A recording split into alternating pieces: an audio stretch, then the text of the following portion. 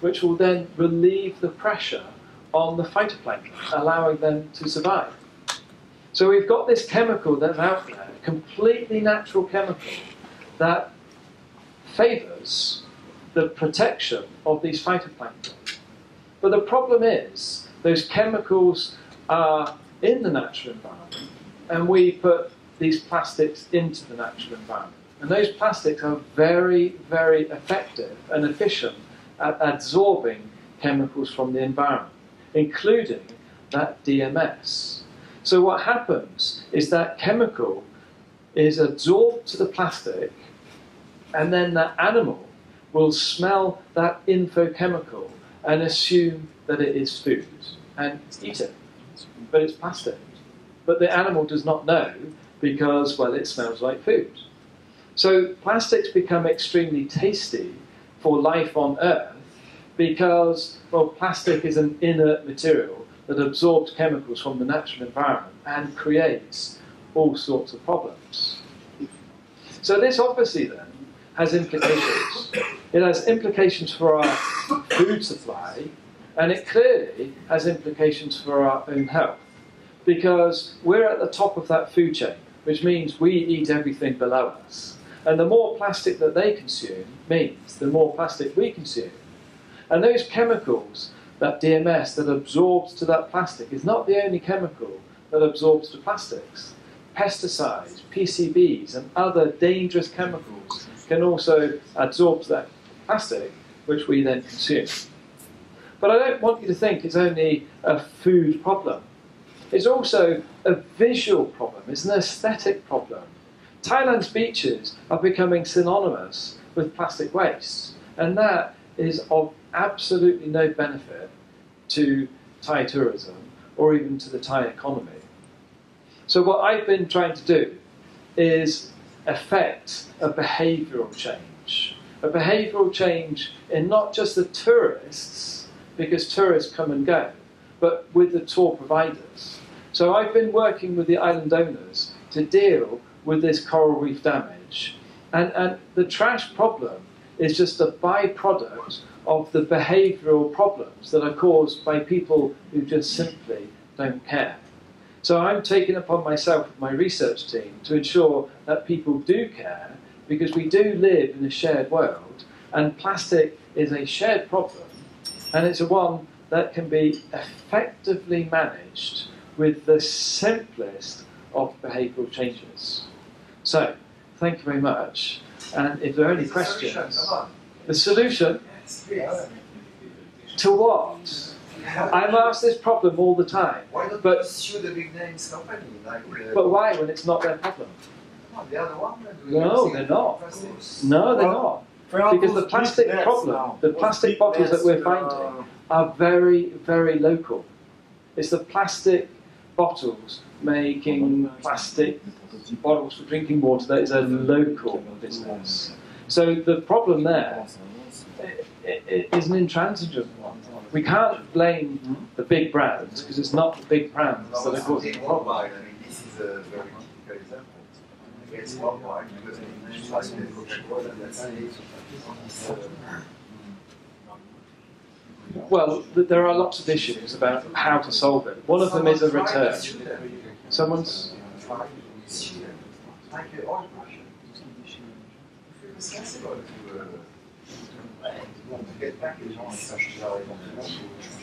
Sure, but if there's no incentive for them to do it, then why would they? Until it becomes law, these companies have absolutely no incentive to do it. But someone tried. Has someone tried to sue them? I wouldn't know. I wouldn't know. I'm an ecologist, so. Be the first. Yeah. Be the first to sue them. on, he's an expert on the. Oh. You get the cash. I'm an expert, but not in suing people. Uh, I, I'm an expert in assessing the problem and then giving that solution or ideas to what the problem is. It, it's very easy to us, for us to ask what is the solution, but more often than not, we don't know what the problem is. But you, you, and that's why sorry, you, maybe you, you, you may have seen the recent like debate about like the eco-plastic or biodegradable Sure. plastics and the co-expo plastics um, kind of scandal related to it and is not a solution because it's claimed to be biodegradable and, and actually it's not. So that there is some changes in the industry and some more pressure on those those big like consumers of plastic and single use. Um, but is a solution not in those like more advanced biodegradable plastic that has proven um, you know shorter life cycle? Uh, yes, but then what do you do with that plastic after you've consumed it? Uh, those that can naturally biodegrade. Uh, there are very few that naturally biodegrade. They still need high heat Mhm. to deal with it. They can't be naturally composted with the rest of your compost. So there is no ideal solution at present. The only real solution to the problem is, is not to generate that waste in, in the first place, which means we make the decision not to buy a plastic bottle. We take a reusable bottle, for example. I agree, but if maybe with more investment, more like uh, political will and, and additional funds, Absolutely. uh, that would boost like There's always absolutely R and D and, and, and come up with solutions that are Sure. global issue. Sure, definitely. Uh, but from my perspective, I, I deal with the ecological issues. I leave it up to other people to deal with the business side of it. But I, I do know that things are changing. And when I first started doing all of this, in fact, my, division chair told me don't get involved with waste. It, it was a no go area. Nobody was interested in this issue of waste, but I, I'm quite stubborn and carried on with it. And now there is a huge move amongst people to raise awareness, but also to raise this issue of, well, what are the alternatives? And that's where the discussions are heading, because at the moment there are no real alternatives. But and interestingly, just bounce on, on what Richard was, was mentioning, um, I know some people who try to get into the business of trash and, and recycling and trying to, to, to come up with solutions like in Thailand. And they got like threatened for their lives because it's such a big mafia, like the plastic producers and the business related to recycling, that uh, deter anyone from trying to, uh, to come up with, with innovative solutions. So, Yeah, uh, I, I go to Gotdow a lot, and that was a real eye opener because uh, everything that goes to the island stays there.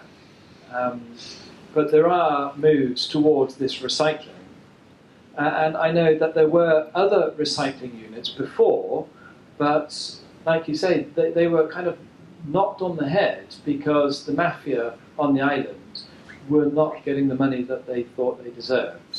So the issue just became a huge problem until they now have literal mountains of trash. This is a mountain that's like four, five, six meters high, and it's being added to daily. And it, it, there, is one company that is now beginning to not sort the waste on the landfill site, but get people to bring their plastic waste to them.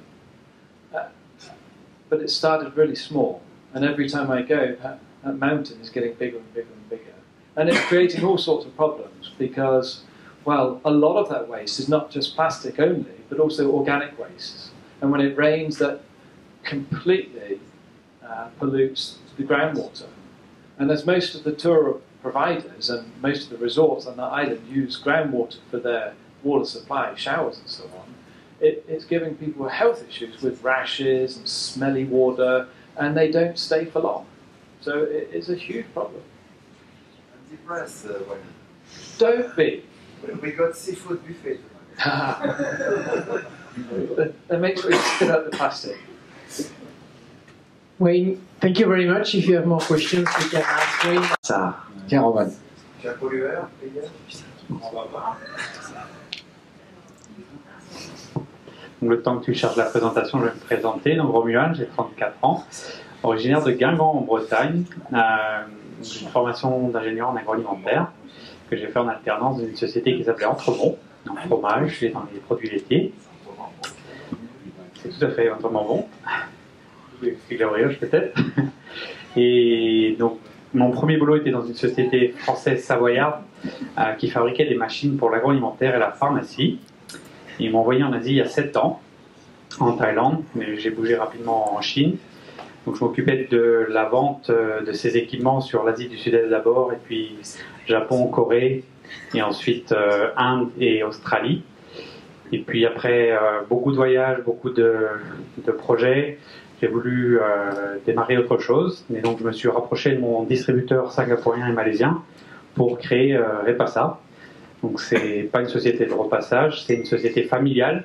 Euh, donc le- les prénoms en fait Robin, Pamela et Sabina sont les trois euh, premières personnes dans la société. Et donc moi j'ai rejoint cette société-là en 2014 pour ouvrir le bureau de thaïlandais.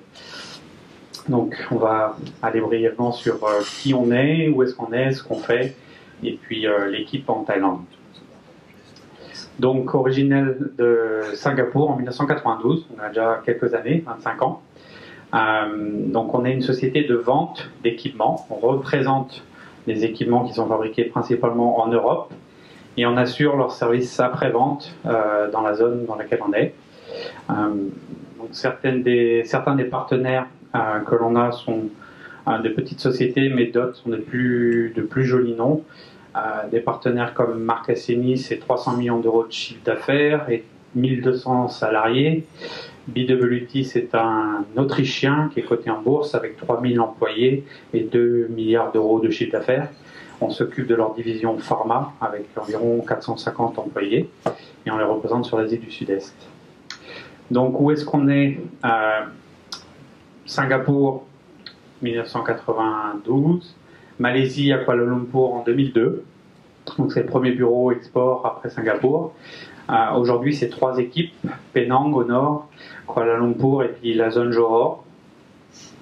La Thaïlande, euh, dont je m'occupe depuis 2014, euh, donc ça a été ouvert par mon associé en 2013, euh, mais on a ouvert la société limitée en, en 2014.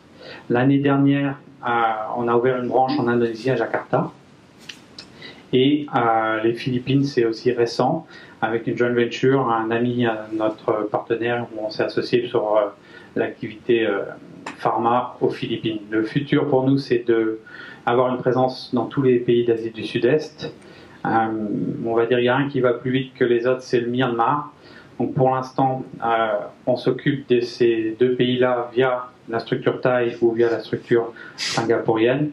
Et depuis le 1er novembre, donc quelques jours, on a ouvert euh, un bureau à Yangon euh, pour la promotion des équipements que l'on représente. Donc euh, une petite structure aujourd'hui de, trading avec 25 personnes en propre et beaucoup, beaucoup de contracteurs pour les, missions que l'on fait. Donc ça, c'est des exemples de, partenaires que l'on a qui sont souvent sur les gros salons européens. Là, c'est Akema, donc Marc Assini et d'autres. Je ne vais pas rentrer dans le détail.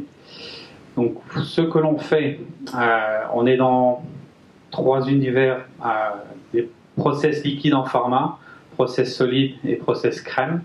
Donc tout ce qui est fabrication d'ampoules, d'injectables ou de sprays nasaux. Euh, le single use en pharma, ça existe aussi avec les seringues. Tout ce qui est solide dosage, donc les tablettes, ça peut être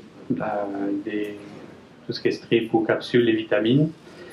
Et process euh, plutôt cosmétique ou euh, crème, euh, on est sur tout ce qui est ligne tube, mais pas trop sur ce qui est euh, jar ou mascara.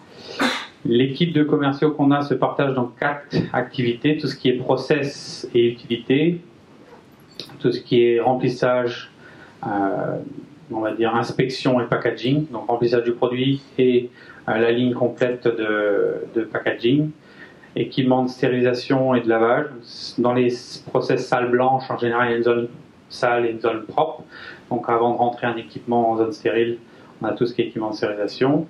Et euh, quand on vend les équipements, on essaie aussi d'associer les consommables. Donc on est aujourd'hui à vendre tout ce qui est verri euh, pharmaceutique, donc les ampoules ou les verres. C'est peut-être un bat, mais des fois les fabricants sont à 10 millions de verres par mois. Donc c'est un business qu'on essaie de, faire monter chez nous aujourd'hui. Donc dans un, sur la zone Asie du Sud-Est, on travaille principalement avec les entreprises pharmaceutiques et on est capable avec les marques avec qui on travaille de fournir tous les steps d'une usine, euh, de production.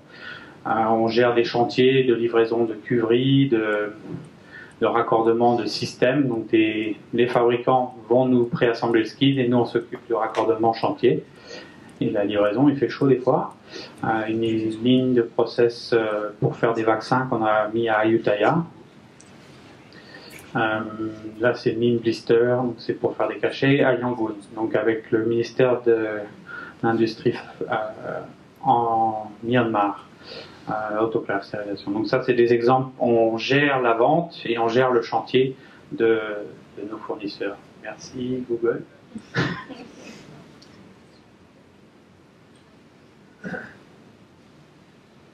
Ok.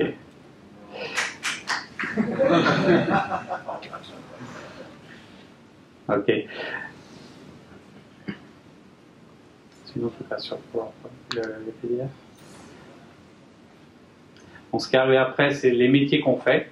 Et puis ça permettra d'aller plus vite. Donc on est à gérer tout ce qui est engineering de départ avant de faire le projet, la vente. Euh, on fait du support électrique et automatisme. Euh, et d'ailleurs c'est un... ah on va essayer de démarrer. Hop. 1, 2, 3. Donc, tout ce qui est design, chantier, euh, qualification pharma, automatisme et service après-vente, maintenance préventive ou maintenance curative. On fait un chiffre d'affaires d'environ 250 millions de Thai baht sur le groupe. Euh, la Thaïlande aujourd'hui, c'est 20% et j'espère taper les 30% du groupe en 3 ans. Pourquoi? Parce que le marché singapourien, 5 millions d'habitants, 25 millions en Malaisie et 60 en Thaïlande. Le nombre de clients et les besoins ici sont plus grands que ce que l'on a sur nos autres, nos autres pays. Euh, pardon. Et l'équipe, donc en juin, au mois de juin, on fait un salon qui s'appelle ProPack, euh, un salon packaging. On a commencé, on avait 12 mètres carrés, on était 8, et donc ça c'était cette année où on était pas une vingtaine, on était 18. Ah, donc aujourd'hui c'est le, c'est bien de voir tous les ans grandir la surface et de l'équipe qui nous, représente. On se situe euh, sur le nord de Bangkok et on est à disposition pour les projets pharma. 70% de notre activité et on est également aussi sur le food à 15% et chemical 15%. Donc on vend et on promeut, on promeut des marques euh, principalement européennes sur le marché sud-est asiatique. C'est tout. Bon appétit. Merci, merci Roman. Alors on enchaîne avec nos, nos petites, euh, petites infos habituelles de fin de session et Emmanuel qui se précipite juste derrière là. Ah, euh, nous parler de la French Tech. euh. Recyclable. Euh, bonsoir à tous. Euh, donc, euh, qu'est-ce qu'on a fait dans la French Tech? On a rencontré la French Tech Cambodia, Cambodge, qui est venue nous voir très amicalement, très professionnellement, qui nous a montré l'écosystème cambodgien, du online, du e-commerce, du social media, etc. C'était très intéressant. Euh, on ira, alors quand je dis on, c'est toutes les startups de la startup community, enfin en tout cas une grosse partie, puis il y en a déjà 10 qui ont dit oui, euh, au Cambodge euh, en février. Donc on ira voir, on vous tiendra au courant de tout ça. Hier, il y a eu un super événement avec des speakers un peu fous, des speakers live du, qui, étaient en live du Canada et une personne dont Richard et François lui ont parlé, c'était euh, Burley Cent, qui a pitché son entreprise. Et euh, voilà, ça c'est très bien passé pour ceux qui étaient là. Euh, ceux qui n'étaient pas là, il y a le live qui est disponible tout le temps. Euh, je vois les petits cœurs, notamment de Thomas, qui regarde le live.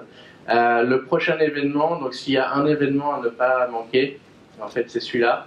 Ce sera le 13 décembre, euh, le mercredi 13 décembre, et ce sera sur le euh, online payment et euh, le Bitcoin. Donc le Bitcoin qui est euh, un sujet très très chaud en ce moment. Et euh, voilà, donc vous saurez tout sur le Bitcoin. Voilà. Le partenariat Université de Toulouse, dont je vous, ai, je vous parle tous les mois, il est enfin démarré. Donc ça fait un mois, plus d'un mois qu'ils ont démarré. On fait des interviews de, de start-upers, de start-up, d'entrepreneurs, de gens intéressants. Euh, et on va tout, euh, tout publier euh, très prochainement. Voilà. Euh, il manque une slide, mais c'est la faute d'Elodie. voilà, j'avais un super truc à vous dire, mais voilà, voilà c'est tout. Merci Emmanuel.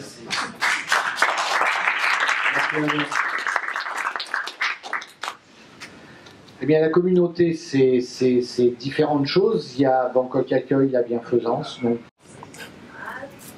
Oui, effectivement, la bienfaisance.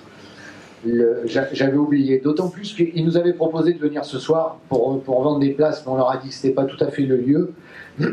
Par contre, on s'est engagé, eh bien, dès lors qu'on est partenaire, qui sont même partenaires de l'ambassade, etc., etc., on leur a proposé de présenter la slide, et puis bah, de vous le rappeler que comme l'année dernière, l'année d'avant, je ne sais pas, je ne sais plus, mais comme cette année, il y aura le 2 décembre dans les jardins de la résidence de France le Beaujolais nouveau.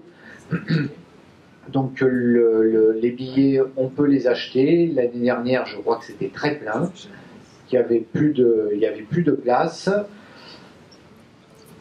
Donc il y a différents points de vente. Les différents points de vente, ce sont Ban- Bangkok Accueil et euh, Café Chac, Chambre de commerce, euh, Ensemble à Pattaya, Français du Monde, Carnet d'Asie et l'UFE.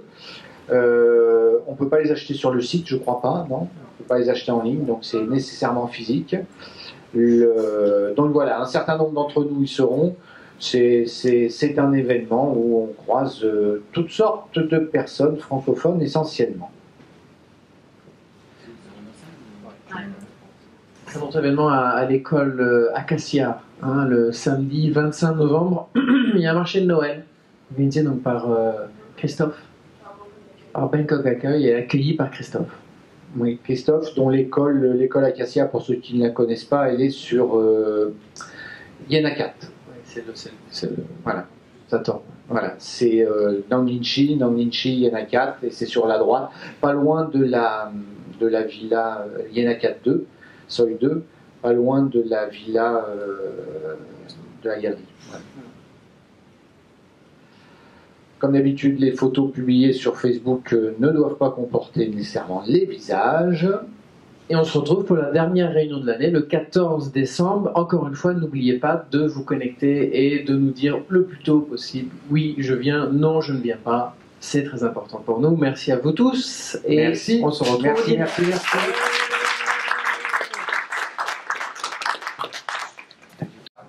Cassé, a explosé, on se retrouve dans un monde horizontal où tout le monde a accès à tout. Ce qui fait qu'au niveau du commerce, que ce soit en B2B, en B2C, ça veut dire que le chemin d'achat a complètement changé. Donc il n'a pas changé dans ses composants fondamentaux, mais la façon dont on adresse a changé. Ce qui fait que euh, au niveau de nos distributeurs traditionnels, quand on a parlé, je me rappelle, il y a deux ans, il y a la discussion, le commerce est mort, les magasins sont morts, etc. On prendra un petit peu trop vite euh, le modèle américain comme euh, loi absolue, euh, qui en sachant que le problème américain est surtout en termes d'immobilier, pas tellement de thèmes. Donc on va voir comment est-ce que le, retail lui a été complètement secoué et puis de voir comment est-ce qu'il s'est mis à, ré- à réagir très très vite parce que c'est vrai que la, grande distrib ou la distrib en général au cours des dernières années, les dix dernières années, n'avait pas été tellement efficace et de voir comment est-ce que maintenant tout converge. Donc on, s'arrêtera à ce moment-là rapidement pour dire en fait finalement qu'est-ce qui a changé et euh, quels sont les, nouveaux enjeux euh, pour les commerçants euh, d'aujourd'hui et de demain. Les trois lois qui nous amènent où on en est aujourd'hui dans cette, société très très connectée, la première, vous la connaissez sûrement, c'est la loi de Moore. Donc, Moore, c'était, c'est un type qui, qui est fondateur au départ de, de Fairchild Semiconductor. C'est aussi euh, le cofondateur d'Intel et en 65, euh, donc c'était le début des microchips, il, euh, il, il a établi sa loi qui dit que tous les deux ans, le nombre de processeurs qu'on peut mettre sur le chip va doubler. C'est-à-dire que donc, il y a une, croissance régulière de la puissance des computers. Aujourd'hui, ce que vous savez, c'est que dans un Samsung de base à 1290 watts, euh, smartphone quand même, il y a plus de computing power que dans la, la, la, la première shuttle de la NASA qui est partie dans l'espace. Donc c'est quand même assez incroyable. La deuxième, c'est, elle est un peu moins connue, c'est la loi de Metcalfe qui dit que la valeur d'un réseau, alors vous pouvez trouver tout ça sur Google, hein, c'est euh, une formule mathématique que je ne comprends pas du tout, et qui dit euh, simplement qu'en fait il y a euh, une, euh, relation euh, asymptotique entre la valeur d'un réseau, donc sa valeur commerciale, et le nombre de connectés. Ce qui explique derrière qu'il y a une recherche permanente de recherche de, recherche de, de, membres dans son réseau. Et la troisième, c'est, alors ça, la loi de backup, c'est les années 80 à peu près. Bon, on connaissait les premiers qui ont commencé à s'en servir, en fait, ce sont les gens des télécommunications. Et elle a du sens, parce que si vous avez un seul fax, votre réseau n'a pas beaucoup de valeur. Même si l'invention technologique, y en a deux, c'est déjà mieux. Il y a mille, c'est super. Il y a un million, c'est top. Donc, ce qui explique aussi la baisse progressive de toutes ces innovations-là. Et la troisième, c'est euh, la loi de. En fait, c'est deux gars qui s'appellent Albert, l'un qui s'appelle Laszlo, l'autre qui s'appelle euh, Parisi, si je ne dis pas de bêtises sont deux roumains. Et eux, ils ont, ils ont trouvé le premier algorithme qui a ensuite été utilisé par, enfin, toujours utilisé d'ailleurs par Facebook, par Google, etc.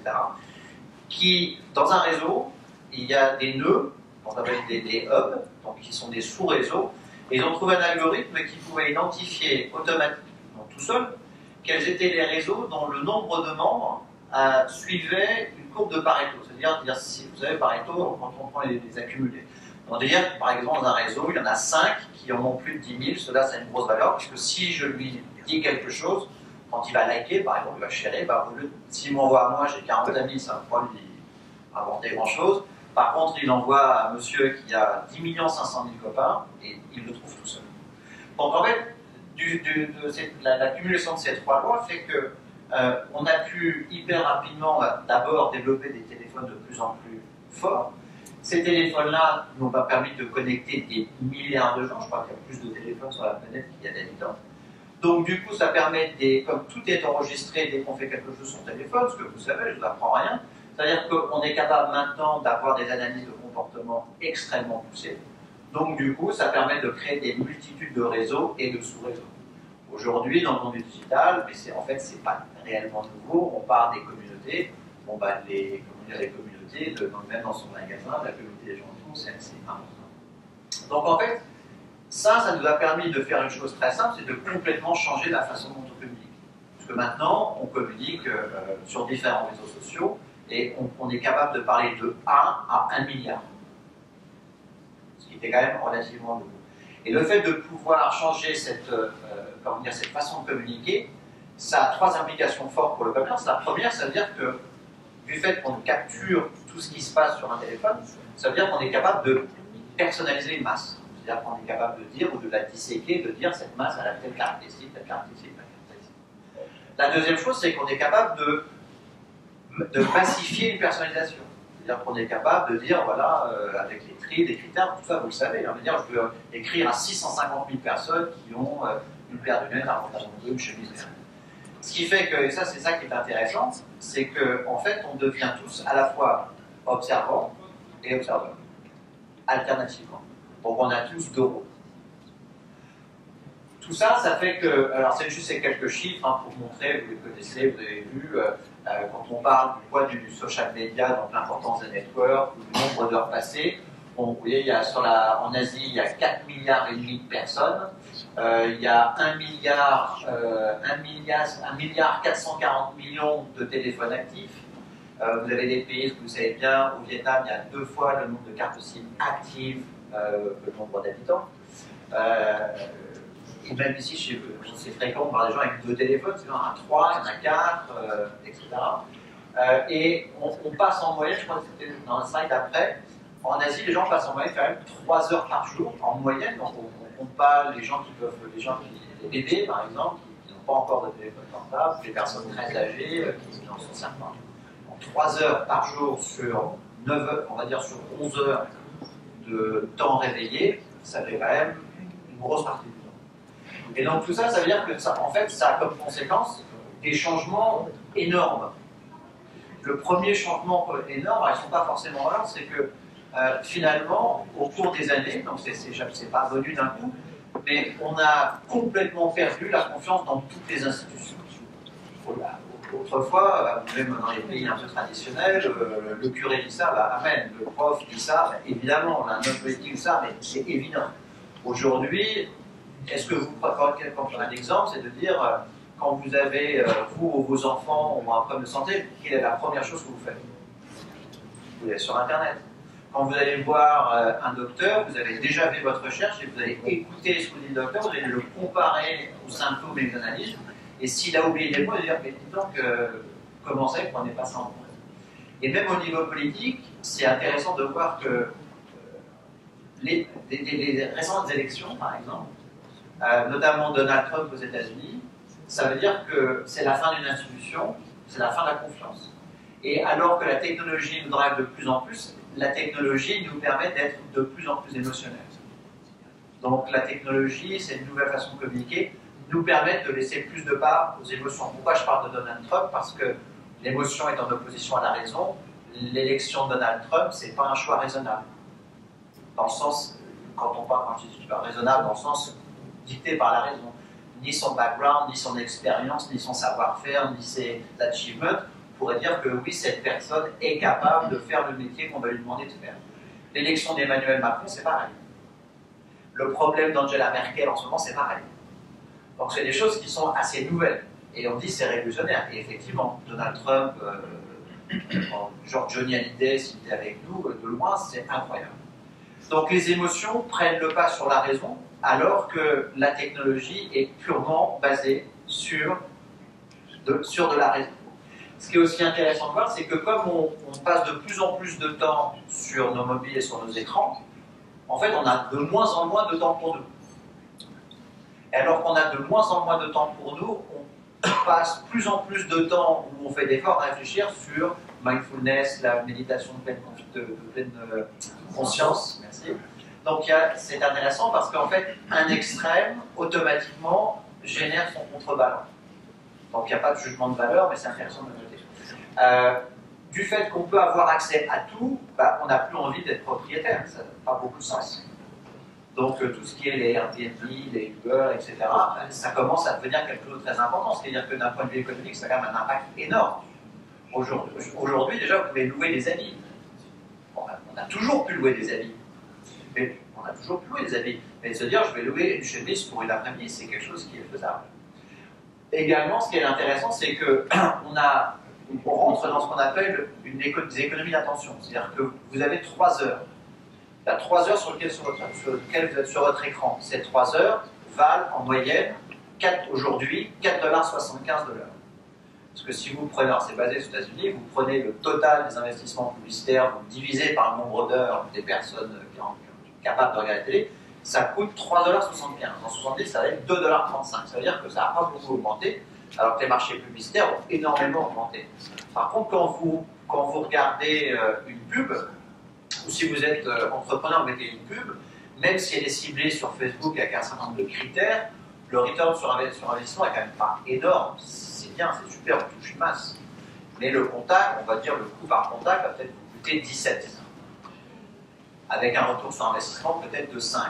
Aujourd'hui, il y a des premiers modèles, et euh, donne deux exemples qui ont commencé, où en fait, et c'est comme ça que ça va évoluer, on va vous payer pour regarder les pubs. Donc vous savez, parce que vous savez déjà, c'est que déjà parce que dans le gaming, par exemple, vous avez des, vous savez, buy in-apps, et euh, donc vous payez, on, vous paye en fait en disant si tu regardes la pub, tu vas avoir 3 points, 3 cœurs, 3 fleurs, 3, je ne sais pas quel jeu vous. Aujourd'hui, euh, il y a une semaine, Amazon a développé, a déposé une demande de patente au gouvernement américain pour pouvoir insérer des vidéos sur ces, sur ces product recommendations. Vous savez qu'aujourd'hui, euh, vous avez les recommandations. Et là, là, sa patente, c'est de dire si le client regarde la vidéo, je lui donne 5 ou 5%, 3%, 4% de discount. Donc là, on vous paye du cash. Et ça veut dire qu'avec les algorithmes de targetisation profil, c'est beaucoup plus intéressant, imaginons pour une paire de Nike qui vaut, je pas, 400 dollars, de dire je paye 10 dollars parce que je sais, grâce à l'étude du comportement d'achat ce type-là, que ça fait 4 jours qu'il brosse toutes les chaussures de sport, je ne suis pas payé. Donc cette, attention d'économie, c'est quelque chose de nouveau qui apparaît aussi. Donc c'est assez intéressant. Euh, bon, à partir de là, vous avez effectivement le souci pour la planète, etc. Ce qui est intéressant aussi, en, fait, on ne voit pas encore, c'est euh, la montée en puissance de, de l'augmented reality et la virtual reality. Donc la réalité virtuelle, en fait, c'est une réalité augmentée activée dans laquelle on peut interagir. Donc aujourd'hui, vous avez peut-être vu, enfin pour ceux que ça intéresse, euh, Adidas, vient de sortir, Adidas vient de sortir son premier magasin avec euh, des displays en virtuel. Donc c'est assez intéressant d'aller votre téléphone, vous vous mettez sur un podium, vous choisissez son catalogue, la paire de chaussures, et vous voyez la chaussure qui tourne. Mais ça, ça va encore bouger. Et c'est pas nouveau, puisque pour ceux qui l'ont vu, rappelez-vous Minority Report, hein, c'est euh, des choses comme ça. Donc ça veut dire que le monde est devenu totalement horizontal. Plus d'institutions, plus de confiance. Euh, et aujourd'hui, on fait plus confiance, nous, en tant que clients, en tant que personne, on fait plus confiance à des reviews de peers que à ce que va nous dire euh, le ministère de la Santé. Donc ces nouveaux besoins, ce qui est intéressant d'ailleurs, c'est que ces nouveaux besoins de- des clients, c'est du fait de cette, des différents scandales qui sont passés, il y en a en Europe, en Chine, au Japon, etc. Le premier besoin du client, c'est la transparence. Et la transparence parce qu'il a accès à ce qu'appelle, euh, euh, appelle l'économie des connaissances, il a accès à toutes ces connaissances. Son premier besoin, c'est un souci de transparence. Il a besoin de, communauté, il a besoin d'hyper-local, alors que maintenant il peut parler au monde entier. Et si vous regardez euh, des- des distributeurs en France comme Biocom qui font des choses extraordinaires, aussi en Italie, où euh, vous sourcez autour de vous, Walmart euh, vient de faire un truc extraordinaire, pour la première fois dans son histoire, euh, je crois que c'était une quinzaine de jours, Maintenant, il permet aux sociétés, dans un certain rayonnage autour de ces magasins, de mettre en place des produits chez eux, soit en magasin s'il de la place, soit sur les sites locaux, sans payer le moindre frais d'enregistrement. Simplement pour, pouvoir dire on est là. Donc, alors c'était quelque chose, autrefois on s'en foutait un petit peu. Alors maintenant, encore une fois, une sorte de contrebalance. On a besoin de customisation, on a besoin de plus en plus de co-création. La co-création, c'est-à-dire de, pouvoir jouer un rôle réel dans l'évolution de l'offre commerciale. Et le cas d'école, c'est le cas de Migros en Suisse, je ne sais pas si vous connaissez, c'est une chaîne supermarché qui est, très très bien faite. Eux, ils ont créé un truc qui s'appelle le Migropédia, donc basé sur Wikipédia. Donc, vous avez, euh, c'est pour la communauté de- des, clients où on invite aux clients d'abord de noter les produits, est-ce que vous aimez, est-ce que vous n'aimez pas? Donc, euh, ils ont mis en place des règles qui permettent de dire, bon, bah, celui-là, ben, les gens n'aiment pas beaucoup, donc je n'achète pas. Mais qui permet aussi de faire des vraies demandes de produits. Je veux ça. Alors, vous avez, toujours pu le faire quand vous alliez chez votre Auchan, votre Carrefour, votre Casino. Par contre, le suivi, ce n'est pas là. Ici, maintenant, on peut le traquer. Le produit demandé par tant de gens à telle époque a été mis ici. La revue, donc, euh, euh, le- la revue des, performances, la revue des performances, les témoignages deviennent hyper importants. Aujourd'hui, vous savez que le principal driver des ventes sur Amazon, c'est le nombre de, de- références. Donc, euh, ça, ça devient aussi très important. Et dans une moindre mesure, la gestion du temps, on va dire. Parce qu'aux États-Unis, effectivement, Amazon a mis un standard en disant c'est livraison dans les 2h50. Bientôt, ça sera livraison avant que vous ayez pensé à passer la commande, parce qu'on savait que vous alliez la passer. Par contre, vous allez au Japon, les Japonais n'en ont strictement rien à faire que ça soit livré dans la demi-heure. Par contre, eux, comme ils ont des, des temps de transport qui sont énormes, qui sont vraiment très longs, euh, ce qui est très important, c'est de dire que si je livre entre 8h30 et 8h35, c'est livré à ce moment-là. Donc la gestion du temps, que ce soit dans l'immédiat, dans l'immédiat ou dans plus tard, devient un critère très important. Et donc du fait de cette communication, bah, tout ce qu'on appelle le, chemin d'achat du client, il est toujours le même, il n'a pas changé depuis que l'homme est sur Terre. C'est-à-dire qu'il y a au départ, je ressens un besoin, ensuite je source euh, où est-ce que je peux l'avoir, ensuite euh, je négocie, ensuite j'achète. Ça, ça n'a pas changé. Sauf qu'on a rajouté l'advocacy, puisque en fait maintenant, effectivement, si la revue des pairs c'est important, il faut que je puisse donner à mon client euh, la, possibilité de dire ce qu'il a aimé ou pas aimé. Et ce qui est beaucoup, beaucoup plus compliqué, c'est le nombre de points de contact qu'il y a maintenant sur le client. Et ça, ça devient très compliqué à gérer. Si vous avez le temps, si vous intéresse, je vous invite à aller chercher le Customer Pass de Monoprix. C'est un document qui fait 5 pages. C'est tellement important que dans sa présentation stratégique en 2017, Carrefour le présente aux actionnaires. La compréhension du chemin d'achat est devenue quelque chose qui, avec une importance qu'il n'avait pas auparavant. Parce que si je ne sais pas comment tu achètes, ça va être difficile de te vendre.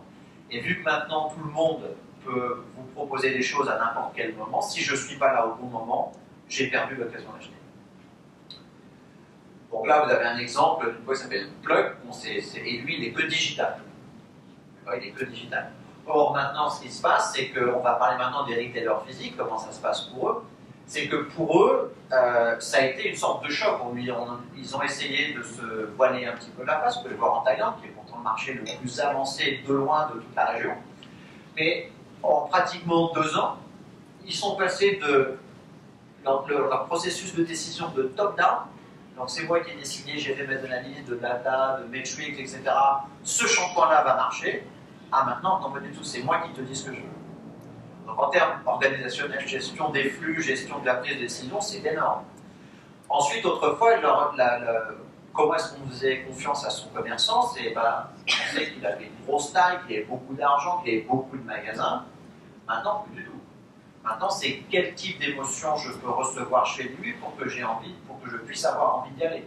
Donc c'est pareil, on part d'un système qui est très process orienté, le, retail est vraiment une gestion de flux, à une gestion d'émotions et de gérer des émotions de flux. Pareil, tout à l'heure de gestion d'image, là on doit gérer les flux d'émotions, donc les mesurer.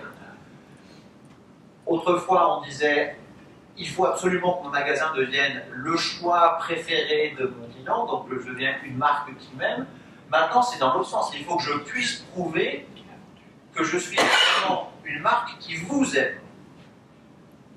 C'est un sacré aussi changement au niveau marketing, au niveau de la stratégie d'enseigne, au niveau des positionnements de format, c'est pas. Avant, ils avaient un marketing très assertif euh, en disant puisque c'est bien, croyez-le. Maintenant, il faut faire un marketing de preuve. C'est-à-dire que le client ne va croire que s'il est capable d'avoir la preuve sur le lieu de vente, que ce soit online ou offline. Donc là, pareil, il faut changer le mode de réflexion. Et finalement, le, le point final, pardon, c'est que toute la- la stratégie de communication d'un distributeur, elle était basée sur un calendrier qui part au départ par les événements calendaires, puis euh, les événements locaux, puis les événements promotionnels, etc. etc. Donc très carré, très très précis. Là maintenant, c'est complètement différent. Il faut que je base ma communication sur mes clients. Et on revient tout à l'heure à ce qu'on disait, la massification de la communication et la personnalisation de la communication massifiée. Donc, ça commence à, euh, on on repense aux lois de make-up ou de, Moore, ça commence à devenir compliqué. Donc, ils ont pris tout ça dans la tronche assez fort pendant deux ans. Et pendant ces deux années-là où ils ne réagissaient pas beaucoup, euh, on a beaucoup entendu à droite à gauche euh, le magasin, et le magasin est mort, le magasin est terminé, etc. Or, pas du tout. Et en fait, pas du tout, parce que cette émotion dont maintenant le client est friand, c'est très difficile de l'avoir online. C'est- On peut, il y a sûrement des robots, etc., mais c'est pas possible. Et en fait, le type qui l'a véritablement bien cristallisé, c'est Jack Ma. Et en 2016, en avril 2016, il, euh, écrit une lettre à ses actionnaires euh, pour son, son shareholder meeting, et il venait d'acheter pour la première fois, donc Alibaba, le, le, le gars électronique, il vient d'acheter un department store qui s'appelle Intime, premier magasin physique qu'il achète. Et dans cette lettre, il dit le nouveau retail. Et le nouveau retail, donc il a annoncé en 2016, en fait, vous avez pu le voir en 2020 lors du fameux 11-11 avec son opération extraordinaire où il a complètement mélangé le physique et le digital. Je vais juste donner quelques chiffres pour euh, ce que vous connaissez. Vous savez qu'il a fait 26 milliards de dollars, ça vous le savez. Par contre, c'est ce qu'on ne sait peut-être pas. euh, la première heure, il a fait 8 milliards et demi. Il y avait 140 000 marques. Il y avait 15 millions de produits. Il y avait 812 millions de commandes qui ont été gérées en un jour. Il y a 1 milliard 48 paiements qui ont été processés par Alipay. Et tout ça parce qu'il a fait ce qu'on appelle de l'omnicanal. Donc, c'est-à-dire, alors avant ça s'appelait O2O, c'est online to offline, offline to online. Et donc, c'est là où on voit en fait maintenant, on entend, vous entendez encore parler maintenant de dire que les magasins physiques c'est fini? Non, c'est fini. Pourquoi? Parce que les physiques se mettent à faire du digital et le digital se met à faire du physique. Parce que pendant que les retailers dormaient, qu'est-ce qu'ils ont fait les gens du digital? Ben, Comme ils c'est beaucoup plus facile. J'ai pas de magasin, j'ai pas d'opération, j'ai pas de people, j'ai pas de camion. Enfin, si j'ai des camions, je les sous-traite. Donc en fait, ils ont adressé toutes les réponses auxquelles les, distributeurs, eux, physiques, n'avaient pas perçu ces nouveaux besoins. Euh, et ça reste des marchés importants, mais qui restent encore petits. Aujourd'hui, dans le B2C mondialement, on estime que c'est grosso modo allez, 10 à 13% du business global. donc business global, food, and- enfin, alimentaire et non alimentaire. Là où ça marche bien, c'est le non alimentaire. L'alimentaire, c'est quand même 60% du business. Aujourd'hui, le pays le plus avancé, c'est la Chine, mais c'est pour des raisons géographiques. Ça dépassera vraisemblablement peu 15%. Et vous avez déjà essayé de faire vos courses en ligne sur un, sur un, pour un hypermarché, vos courses alimentaires? Ouais. Avez passé combien de temps? Parce que pour faire naviguer un client sur une structure marchandise qui a 120 000 produits, vous trouviez la boîte de thon que vous aimez, vous avez passé du temps. Donc c'est une des raisons. Si vous l'achetez euh, de, de couche, ça va, ou de la litière pour chat, ça va. Mais sinon, c'est une des raisons pour lesquelles ça ne marche pas. En Thaïlande, vous voyez ici, euh, on dit en 2015 que ça faisait euh, 1 milliard. Euh, en 2025, ça fera 11 milliards. C'est- bien, c'est pas, pas monstrueux. Par contre, ce qui est intéressant, c'est de voir que le Vietnam, mais c'est aussi pour des raisons géographiques et d'infrastructure, le Vietnam, vous savez, c'est 2500 km de long, il y a une route. Donc euh, c'est vrai que c'est pas évident de, mettre en place des magasins. Donc ça continue à grossir. Et le, ce fait, ce gros changement, il, le Jack Ma, euh, qui est un peu mon idole, c'est vrai, il dit euh, euh, quelque chose d'assez simple. Il dit avant, le client devait aller au magasin pour choisir le produit. Aujourd'hui, c'est le produit. Donc c'est un, changement assez fort de, de dirais-je, de, de tendance. Donc les, retailers, les physiques se sont trouvés euh, vraiment un petit peu la tête euh, sans dessus dessous, j'en parlais tout à l'heure. Ce qui est intéressant, c'est qu'à partir de 2016, le nombre d'innovations qu'il y a eu dans le retail, mais je ne sais pas si vous êtes abonné, euh, moi je suis abonné à un certain nombre de c'est mon métier, mais il y a quoi? 30 innovations par jour. Et, et ça veut dire que le retail redevient, refait son vrai métier de commerçant qui est de continuer à innover.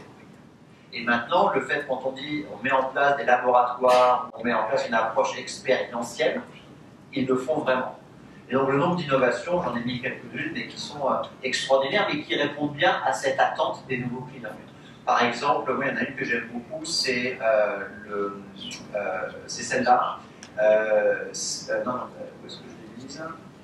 C'est une boîte de fringues qui s'appelle, c'est peut-être américaine, s'appelle Everlane. Vous avez tous entendu parler, par exemple, des problèmes euh, sur les, les, les, marques, notamment Zara, qui fait travailler des, euh, des bébés manchots aveugles, euh, etc. Euh, des femmes enceintes jusqu'aux dents, elles, de- sont, elles sont debout 25 heures par jour. Toutes ces choses-là qui ont une importance de plus en plus grande pour les consommateurs. Vous allez sur le site Everlane, vous, vous cliquez, vous allez voir le site, des usines, vous avez les photos des usines. Simplement pour dire, ouais, parce que j'ai- si vous allez sur le site de Biocup, vous avez la photo, vous avez la photo de l'endroit où les produits sont faits. Vous allez en Australie, il y a certains magasins qui font, euh, qui utilisent le, toit de leur magasin euh, en tant que jardin vert. Vous cliquez, vous allez, il y a des bords d'un magasin ou alors avec une app et vous voyez en, en vidéo feed le champ. Vous voyez le, le vernis qui passe, etc. Euh, donc il y a de, plus en plus d'innovations et ça c'est vraiment la chose qui, est très très bien. Euh, donc ça veut dire que entre 2000, on va dire 2015, 2014, le début c'est la fin du retail physique, et aujourd'hui il n'y a plus de débat. Le retail n'est ni physique ni digital, il devient omnicanal. Et qu'aujourd'hui, en tant que commerçant, de penser soit en B2C, soit en B2B à une stratégie autre que omnicanal, c'est un peu de la folie. Et le B2B aussi, j'étais au Vietnam euh, la semaine dernière, alors je excusez-moi pour ceux à qui je l'ai déjà dit, euh, chez Vietnam Airlines, euh, pour une filiale qui s'appelle Vietnam Airlines Ground Service. Euh, c'est dans leur métier avec les concurrents qu'ils ont, c'est pratiquement les seuls qui n'ont pas une approche digitale sur le B2B. Puisqu'aujourd'hui, tout le monde est avec son téléphone ou avec un accès aux informations.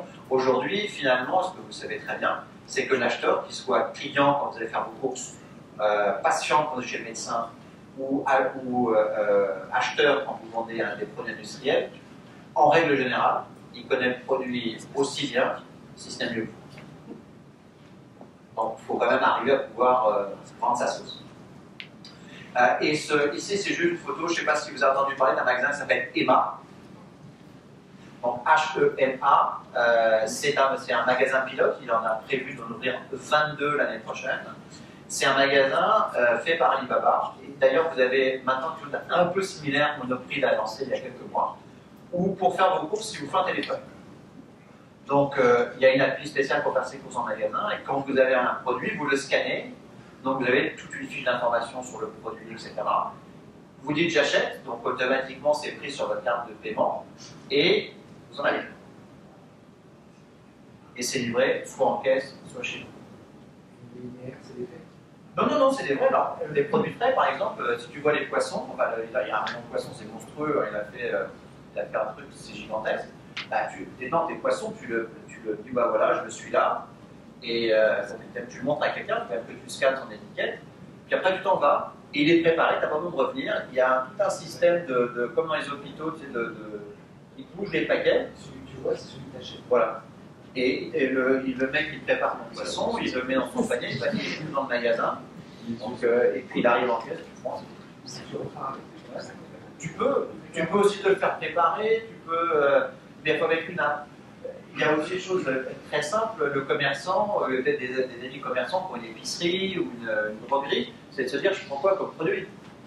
Parce que sur, je vais mettre l'étagère, mais je n'ai pas envie de produits qui ne se vendent pas, je ne veux, pas des produits qui vendent.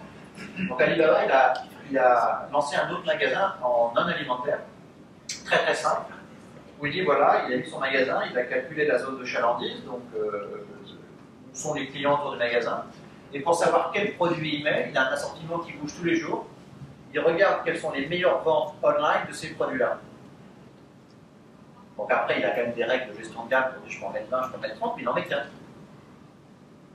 Et donc l'assortiment est forcément un assortiment qui client, puisque c'est basé sur ce qu'il achète déjà. Donc euh, euh, c'est assez rigolo. Donc aujourd'hui, ben, il y a vraiment une convergence parce que le digital permet une analyse que le physique ne permet pas, et le physique permet une gestion émotionnelle que le digital ne permet pas. Donc en fait, euh, il y a Ate Kearney qui a, c'est pratiquement la fin de cette petite intervention, qui a essayé de redéfinir un petit peu quelles étaient les clés aujourd'hui du succès sur ce commerce omnicanal, digital, physique. Et il dit, la première chose, c'est être sûr que tout le processus auquel on pense est un processus simple. Et c'est de, de, plus en plus simple qu'aujourd'hui, vraisemblablement, dans 5 ans, dans vos hypermarchés, dans vos magasins, il n'y aura plus de produits. Il y aura un produit. Parce que les magasins vont devenir des lieux uniquement émotionnels d'interaction entre vous et la marque. Si vous allez, par exemple, il y a un magasin en test euh, à Dixie, euh, euh, dans un ville, je crois que c'est ailleurs, septembre, où ils ont commencé à faire, Casino le fait en France, si vous étiez en France récemment, où vous avez dans l'hyper un shop-in-shop pour ces discounts. Et vous avez dedans, dans un hyper, des canapés, des armoires, etc. Donc, en fait, cette interaction entre vous et la marque, qui, euh, qui résume assez bien tout ça, euh, donc ce type, euh, Mandela, qui est le, CEO de Sephora, en fait, je pense que dans cette phrase, il résume. C'est-à-dire qu'il dit, si votre approche avec votre client est purement transactionnelle, vous pouvez fermer. Euh, voilà, merci.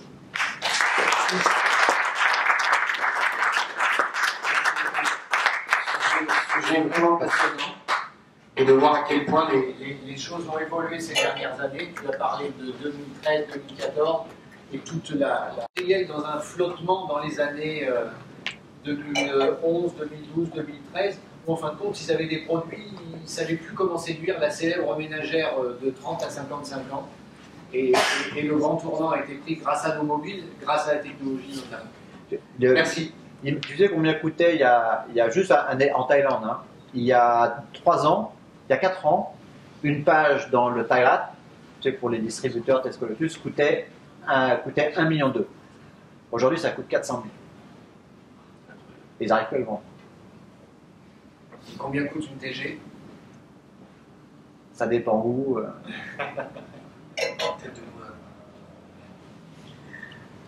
Merci beaucoup. Super, très intéressant. Merci beaucoup. Merci beaucoup.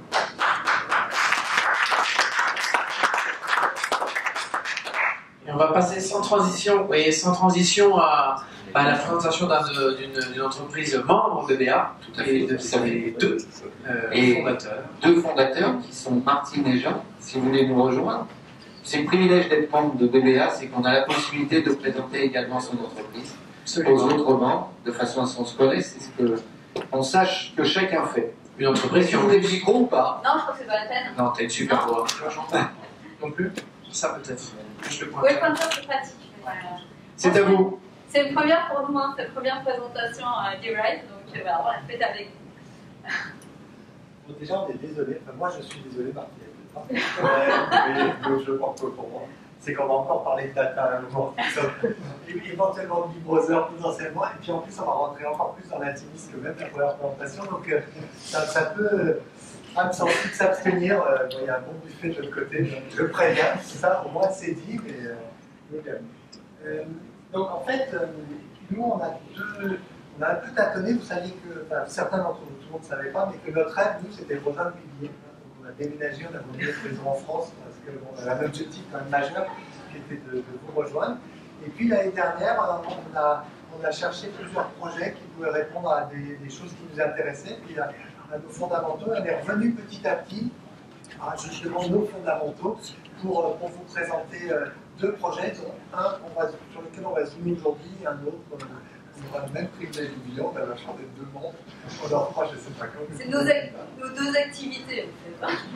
Donc la, la mission qu'on a, en fait, euh, ça fait 25 ans qu'on travaille tous les deux, euh, chacun de notre côté euh, beaucoup, et on a toujours travaillé sur une double, double dimension, deux pieds, un pied sur la performance, à travailler sur l'optimisation de performance, que ce soit individuelle ou collective, donc pour des organisations ou, en coaching, par exemple, on fait dizaine d'années maintenant de team, et puis sur la santé ou, euh, ou le- le- la, la santé long terme d'une entreprise, pareil, ou d'un individu, ça a toujours été un créneau, quels que soient les secteurs, on a travaillé dans des secteurs assez différents, toujours comme ça.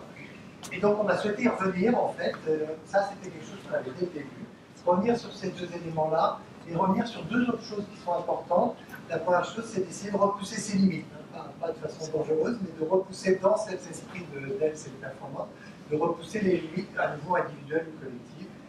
Et le dernier point, c'est que nous, on s'estime plutôt des, catalyseurs, c'est-à-dire qu'on estime que les ressources sont en l'entreprise ou sont en l'individu, et que nous, on est plutôt là pour les aider à révéler leurs ressources, à les sublimer potentiellement un petit peu aussi, pour avancer. Donc on a reformalisé cette mission de cette façon.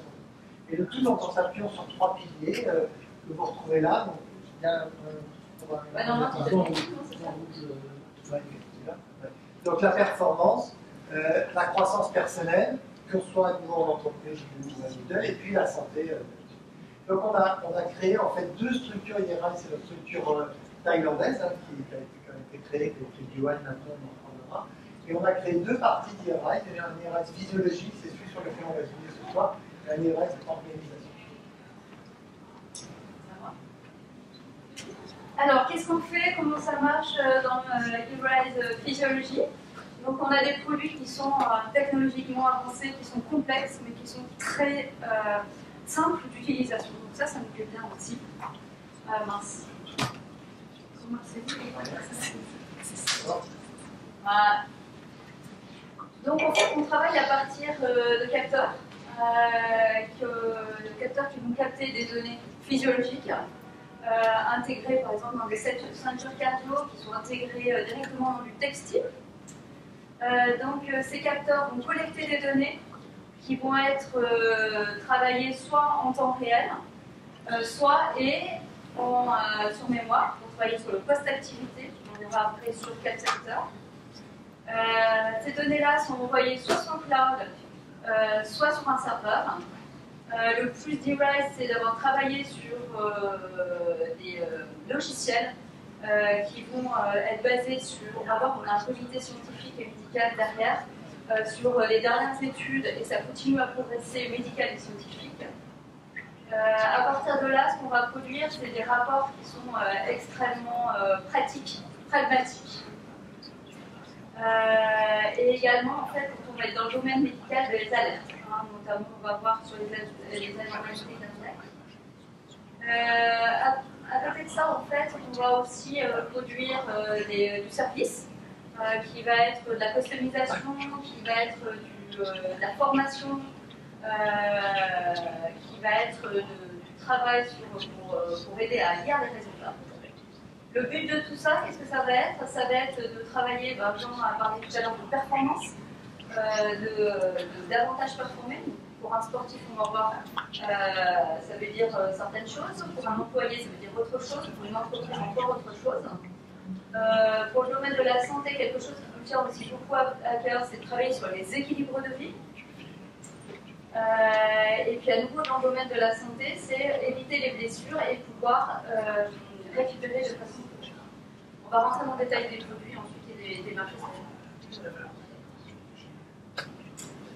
Donc en fait, on intervient sur euh, trois marchés plus euh, un autre qui est en émergence ici, qui est euh, la sécurité. Donc la sécurité, c'est intégrer les IoT, l'IoT dans, dans les équipements, par exemple, de- dans le domaine des, des travaux, Un casque, par exemple. des chaussures, euh,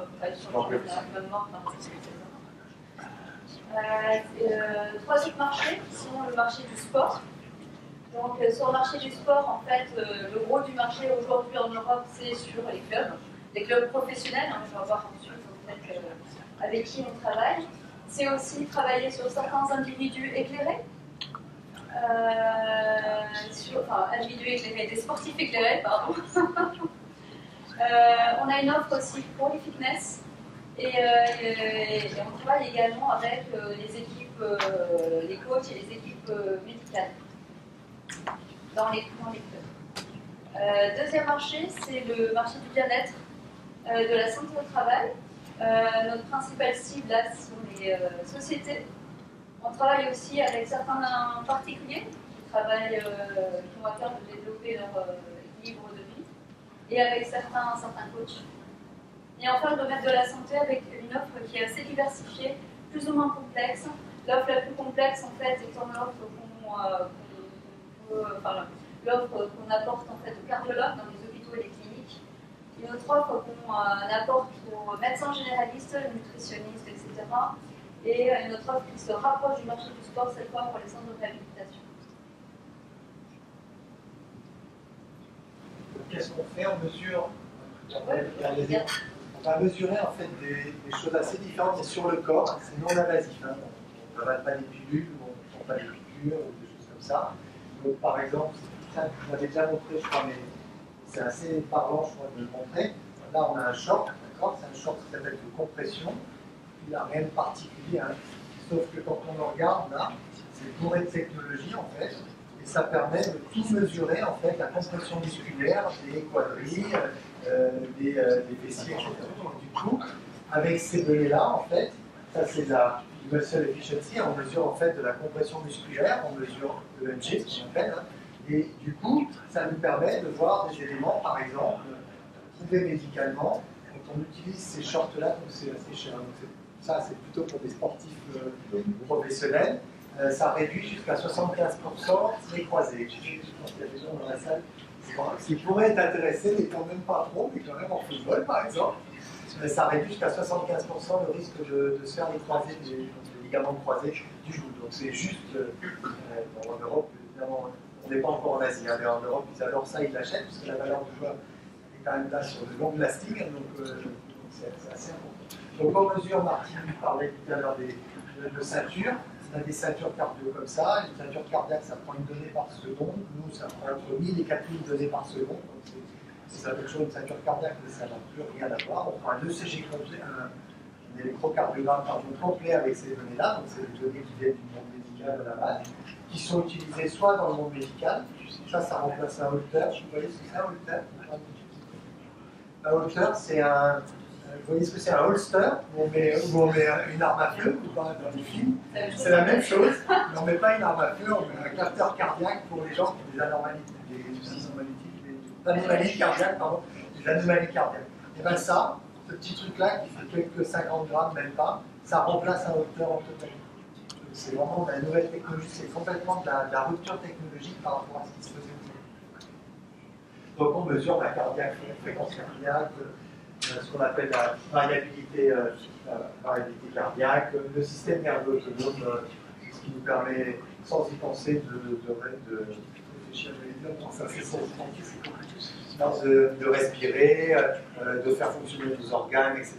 Mais aussi, euh, qui pilote notre température corporelle, qui pilote euh, notre sommeil, ainsi de suite. On mesure des températures, on mesure des mouvements avec des accéléromètres, c'est des choses un peu basiques, ça, toujours si facile que ça, c'est parler de l'effet de l'homme mort, parce que la personne, quand elle est couchée, elle est comme mort ou elle n'est pas comme mort, et si vous l'effet de l'homme mort, ça demande des accéléromètres super compliqués. Et en plus, les positions euh, sur le corps sont très très complexes pour arriver à se rendre compte s'il est. parce qu'il peut avoir un accident cardiaque, par exemple, en étant juste comme ça, il a un problème, et en fait, on se rend compte que quand il mort, il pas sécher aussi, il est pas un homme. Donc on- tout ça, c'est en real time dans le memory, elle l'a dit. Après, on des dashboards, des niveaux de beaucoup de risk analysis. Et plus on va sur le domaine médical, c'est normal, plus on est sur le risk analysis. Dans le domaine sportif, c'est aussi le cas. Des alertes, bien sûr, et puis l'ensemble des, supports qu'on peut faire. Donc nos produits sont plutôt euh, euh, supposés être efficient et user-friendly aussi. Alors, vous montrez ça.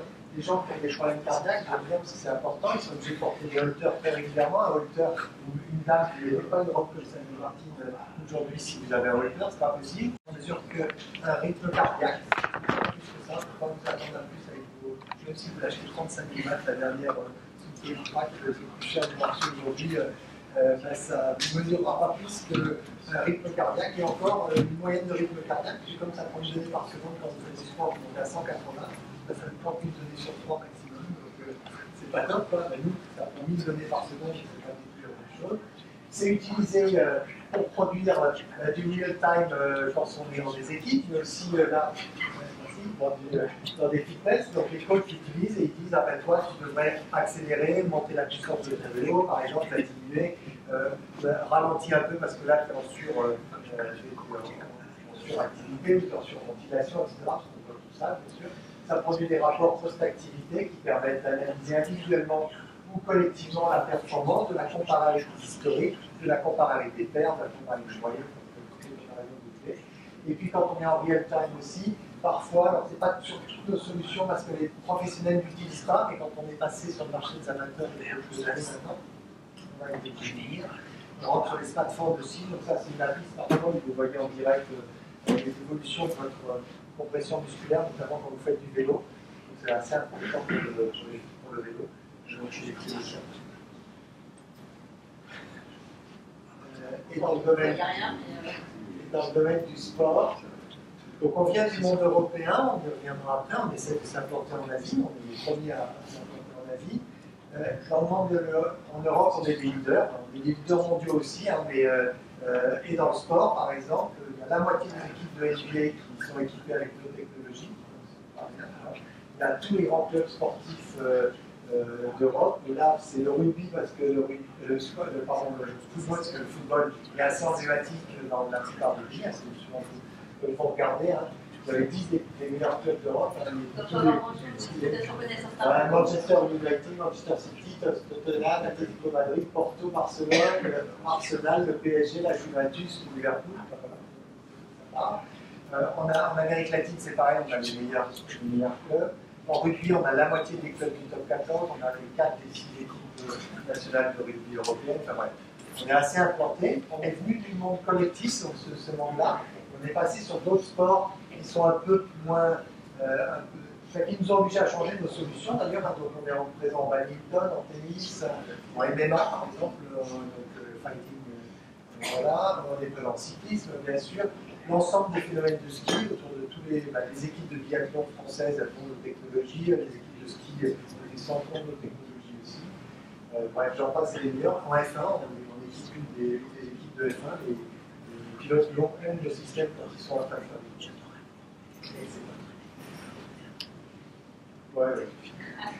On va passer au marché suivant, en fait, euh, qui est le marché euh, du bien-être, avec des produits euh, alors, bah, c'est la même chose, hein, on est sur des capteurs, mais euh, on est un peu différent parce que là, en fait, on va être sur du monitoring longue, euh, longue durée. Alors, quand on dit longue durée, qu'est-ce que c'est? On est entre 2 et 3 jours, on peut aller jusqu'à une semaine. Euh, pourquoi est-ce que c'est important d'avoir ce monitoring-là? Parce qu'on va mesurer euh, des, différentes euh, périodes euh, d'activité ou d'inactivité. On va voir tout à l'heure qu'on va expliquer au niveau euh, des rapports. La personne va garder son capteur euh, pendant euh, la journée euh, et pendant la nuit et va remplir en fait de façon parallèle un agenda avec euh, ce que la personne fait, ses ressentis, Est-ce que la personne se sent stressée, etc. Et là-dessus, en fait, on va ensuite sortir des rapports avec, bon, voilà, des codes couleurs. Voilà, c'est pas très représentatif. Euh, c'est, enfin, si représentatif d'une personne qui va bientôt arriver en burn-out parce qu'il y a des codes couleurs. Rouge, c'est une personne qui est en stress, soit en stress, soit en excitation euh, euh, plus ou moins fort hein, en fonction des pics. Ensuite, on a un code couleur bleu pour l'activité physique et un code couleur vert pour le recovery, sur- pour la récupération. Donc là, en fait, on voit que sur 24 heures, ben, la personne, elle a euh, pas du tout récupéré. Même pendant son sommeil. On a des analyses de, d'analyse de sommeil. hein, euh, la personne, elle, sait qu'elle a dormi tant de temps, ça on va le voir au niveau, euh, au niveau du graphe. hein. Mais euh, sur cette période-là, combien d'heures est-ce que son, son sommeil été de qualité? Quelle a été la qualité du sommeil et la qualité de la récupération?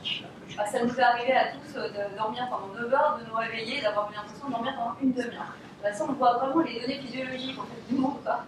On le voit vraiment sur les graphes. En fait, on a la donnée de pendant, sur 9 heures de sommeil, euh, c'est une demi-heure de récupération. Et en plus, la qualité de ce temps de récupération, c'est un. Donc en fait, euh, on va travailler au niveau de l'individu, mais on va travailler aussi au niveau des équipes. Quand on travaille au niveau de l'individu, c'est souvent occupé hein, dans les entreprises. Euh, on va être en face à face pour travailler sur le débrief, mais aussi sur qu'est-ce que, quelles sont les actions à mener Quand, on va travailler avec les équipes de l'entreprise, on va faire euh, régulièrement en fait euh, ces analyses euh, et on va mesurer ben, sur l'équipe, sur l'entreprise, les taux de stress, les taux de récupération, etc. Et on va voir par exemple l'impact euh, de, certaines, de certaines activités ou de certaines actions sur le niveau de stress et de récupération. Ah oui, C'est pas la même chose. Sur, les serveurs et tout ça, les, les données sont anonymisées. Quand on est sur les équipes par rapport à des modèles américains qui sont sur globalement, on est les seuls à avoir un modèle physique en fait. hein, et les autres ont, ont des mesures par diagnostic, donc par, auto-évaluation. Par la pensée, on pense qu'on est fatigué ou on pense qu'on était stressé. C'est pas pareil qu'on a mesuré, là, je tiens un capteur, là, on a mesuré qu'on était stressé ou qu'on n'était pas stressé. Euh, donc là, demain ou après-demain, ça je vais la on verra si j'étais stressé à ce moment-là. Donc en fait, sur les équipes, euh, euh, tout, est, euh, tout est anonymisé. On voit les moyennes, etc. On ne peut pas voir. Il y a américains on voit le plus performant était machin machine. Non, c'est pas possible. Nous, c'est pas. En fait, les données nous arrivent sont sur un, un serveur qui est sécurisé et nous on ne communique pas à l'entreprise. En fait, euh, il y a rapport avec le nom de la personne, si la personne est stressée ou pas. On va contacter euh, les, les résultats et, et travailler vraiment euh, sur les équipes de. Euh, donc, on va pas lire tous les chiffres, hein, mais en fait, euh, on a mené jusque-là, en fait, il en sortir, on va voir qu'on travaille en réseau, parce que tout à l'heure nous disions, mais vous allez voir qui c'est sans. Euh, jusque-là, on a 250 000 assessments qui ont été réalisés pour plus de 2000 compagnies. Globalement, on a un très bon taux de recommandation, un taux de, euh, productivité euh, est sur l'impression de productivité ici, qui est euh, euh, l'augmentation de productivité pour 85% des personnes. Et on a un taux euh, de, diminution euh, des, des- des congés pour, euh, maladie qui va jusqu'à 32%. moins 32%.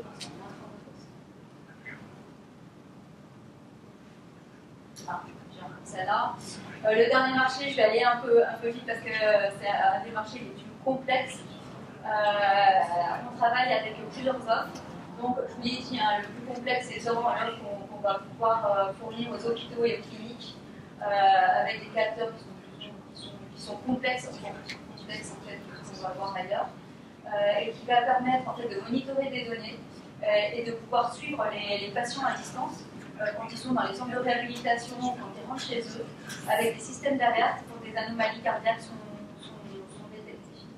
Sinon, en fait, on a euh, des, produits qui sont un peu moins complexes, enfin, oui, euh, complexes au niveau de l'analyse, mais c'est aussi technologique, euh, que- que- qu'on fournit en fait à euh, médecins généralistes, nutritionnistes, euh, psychiatres, psychologues, etc.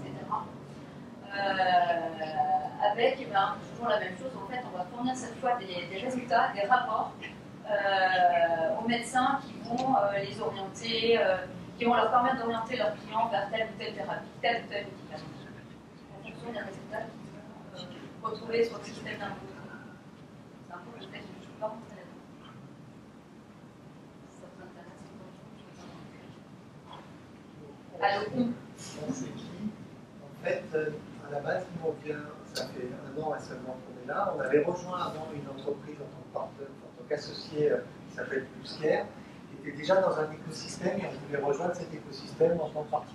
C'est quoi cet écosystème? C'est un écosystème mixte de sociétés pour l'instant, jusqu'à présent européennes, France, Allemagne et finlandaise, qui partagent des technologies et de la distribution. Donc ils font de la R&D commune, mais chacun est propriétaire, par exemple certains sont propriétaires de leurs algorithmes, on parlait d'algorithmes tout à l'heure, d'autres sont propriétaires de devices, voilà, des choses comme ça, d'autres c'est des software, ou certains c'est plusieurs choses à la fois. Et à chaque fois, on met en commun des ressources pour faire de la R&D de demain ou d'après-demain, parce que c'est très très coûteux de faire, euh, euh, de la R&D pour tous les secteurs, mais dans ce secteur-là notamment c'est très coûteux, et ça, en plus ça prend des années, donc pour des PME des startups, euh, c'est assez compliqué finalement d'arriver à avoir des mains suffisamment solides pour, euh, pour faire ça. Du coup, on partage en fait des plateformes communes, en fait, à la fois hard et soft, qui nous permettent de, développer. Nous, on rejoint cet écosystème avec la même ambition exactement. C'est pour ça qu'on a, euh, demandé à avoir un BUI, qu'on a obtenu ce BUI avec ce, ce- cette idée-là, en fait, qui est bah, d'être un réseau de distribution pour l'ensemble euh, de, de- de cet écosystème et d'être aussi un réseau de co-création. Donc, euh, on va commencer par du soft euh, en Thaïlande. On a des projets sur, y a plein de projets, a des projets sur, sur des semelles, il y a des projets sur le cerveau, par exemple, pour arriver à, à travailler sur des maladies neurovégétatives. des- des maladies neuro- Neurodégénérative. oui, oui, mais euh, je cherchais une maladie pour que ce soit plus clair pour vous, mais bon, Parkinson, par exemple, voilà. Euh, on peut travailler maintenant, il y a des études médicales qui montrent qu'on peut travailler avec le, le ou avec euh, d'autres choses euh, sur des préventions de Parkinson ou des traitements de Parkinson qui soient naturels et qui ne sont pas médicamenteux. Alors, on a des technos, qui- on commence à travailler là-dessus, donc on va essayer de voir si je peux faire. La nous, c'est marqué les gens, tu vois. Et on, est, va, on, est en train de démarrer euh, la création d'une équipe lo- locale. Peut-être qu'on aura besoin d'avoir aussi des partenaires locaux taille, en l'occurrence, jusqu'à présent, on a le choix d'être de nous, donc la boîte est 100% à nous, elle n'est pas, de taille. Une question qu'on va se poser. On a notre partenaire principal qui est notre associé euh, qui qui, joue le rôle de CTO, du monde médical et du monde des softs depuis, pas mal d'années, et qui est le fondateur de l'entreprise Pluscare en France, sur lequel nous aussi on est associés. Et puis on a, tout un, autre écosystème, c'est le même écosystème avec d'autres sociétés. Donc Firstbeat, c'est le leader aujourd'hui mondial dans le domaine euh, du sport et du lifestyle pour ce qui, qui autour du HRD, donc de la Hundred Reliability dont on a parlé tout à l'heure. Euh, BioSign sont des entreprises très spécialisées qui travaillent avec les leaders mondiaux qui sont très spécialisés dans le domaine médical, qui, euh, qui traitent que du soft, qui sont que du software, qui ne sont pas de, de, de hard. Et Lithium, euh, qui est là, euh, sont ceux qui, euh, qui font ces petits capteurs-là, euh, qui, euh, qui eux font du, euh, font du hard. Bon, voilà, après, il y a d'autres choses sur les Mindbus, Et tout ce monde-là fonctionne supporté par un comité scientifique qui a pour rôle en fait de nous orienter, de nous valider, hein, qui, euh. Pour l'instant, il y a 8 experts qui sont basés au Canada, en France, en Allemagne et en Allemagne, qui en fait se réunissent régulièrement. Ils nous disent bah, il y a eu telle étude, cette étude-là, elle a été corroborée par telle autre étude, donc elle a une valeur. Maintenant, par rapport à vos métiers qu'on connaît, essayer de travailler industriellement, hein, de, rendre, de rendre viable en fait ce projet-là qui est médicalement prouvé. Voilà. Et nous, on essaie de travailler là-dessus. presque fini. Euh, nos challenges euh, pour euh, cette année, ce qu'il en reste et euh, l'année prochaine, la priorité numéro un, bah, ça va être de faire rentrer l'argent. Donc bah, pour ça, de trouver des, des clients.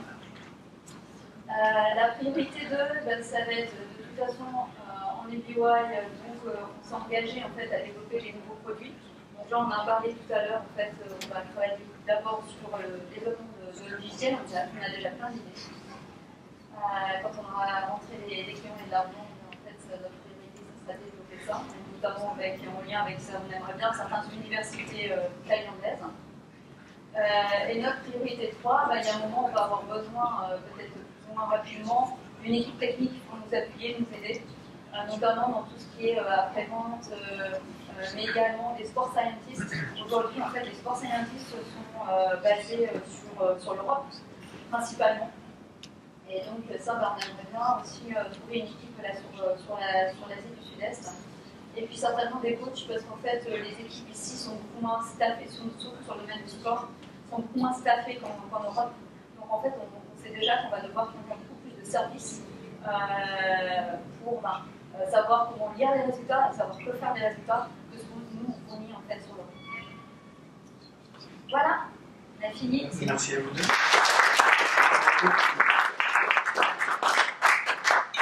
Encore une fois, s'il y a des questions, euh, on propose à tous, s'il est déjà. Euh, oui. Il paraît qu'il y a eu un truc terrible hier soir énorme. Alors que ceux qui ont qui étaient, qui ont compris, lèvent la main. Menteur. Menteur. Vous avez tous compris. C'est vrai? Non Il y avait des, incertitudes ou des choses comme ça? C'est vrai? C'est excité. euh, alors, je clique. Donc décembre, c'était bah, c'est la fin, la fin de, l'année pour nous. Donc on a fait un, euh, il y a un mois euh, un événement sur le growth hacking, donc avec en, direct quelqu'un, une growth hacker donc qui venait du Canada. Donc on a tout fait en direct, c'était un peu rock'n'roll, mais ça l'a fait miraculeusement. hier, il y avait cette fameuse soirée sur les, cryptocurrencies et les payment systems, notamment avec Jérôme euh, là-bas en, guest star, donc qui a mis le feu à l'audience. Euh, je sais pas, personne ne me contredira ici, mais en tout cas c'était ultra intéressant et c'était un avis euh, différent des autres avis qui sont tous d'accord avec la bulle, les investissements, etc. donc il y avait la, la, vulgarisation, il y avait du blockchain, l'explication des blockchains, il y avait euh, Bernard de Safecoms qui a fait vraiment un travail de vulgarisation euh, très fort, j'ai trouvé. Et, euh, il y avait entre 100 et 120 personnes. Donc on n'avait jamais vu ça au Hive, donc c'est un succès. le prochain événement, donc il, vient de d'être décidé, donc c'est tout frais, tout beau.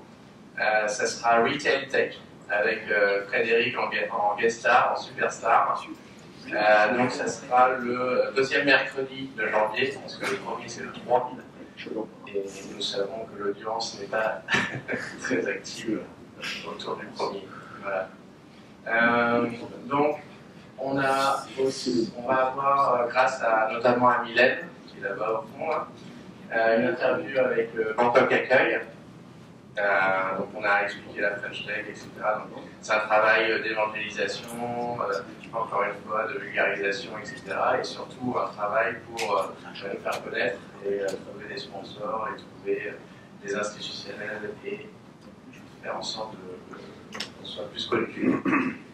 donc le 18 décembre, on a un private event. Donc là, c'est uniquement des, fondateurs des, de, de start-up, des exécutives. mais là, vous n'avez pas le droit d'y aller, hélas. c'est super planète. Maxime? Bah oui, toi, toi tu, peux y aller parce que tu es startup, startup founder.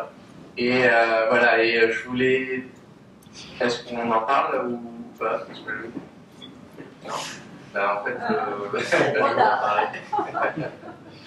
Non, en fait, le, pouvoir, euh, le pouvoir du réseau et le pouvoir euh, du BBA et de la French Tech, en fait, c'est que euh, un, fondateur de start-up qui m'a été recommandé par Pierre Trouillard était très très très intéressant. Il était tellement intéressant que je l'ai invité à pitcher justement à l'événement précédent. On l'a invité à pitcher pour le growth hacking et euh, des choses sont en train de se faire euh, pour lui. Donc les choses évoluent très très très rapidement euh, grâce notamment à cet effet de, de, réseau. Voilà, c'est tout. J'ai fini. Merci Manuel.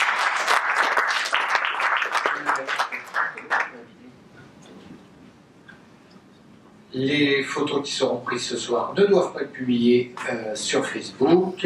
Juste j'ai une réunion 11 janvier, le lendemain de euh, la French Tech, la célèbre French Tech. Le- Donc écoutez, le- le- j'en profite pour vous rappeler, mais vous êtes là, donc vous l'avez fait, mais il faudrait dire à ceux qui ne sont pas là de, de cliquer sur le site internet et de se, s'enregistrer, se enregistrer, ce, je sais pas quoi. Objectif pour 2018, c'est que 100% des membres de BBA euh, se mobilisent et nous donnent euh, leurs infos et se communiquent à ce que vous ne venez pas et vous souhaitez euh, de très bonnes fêtes, attention à vous sur la route et euh, bah, à très bientôt au mois de janvier. Tout à fait. Joyeux Noël à tous.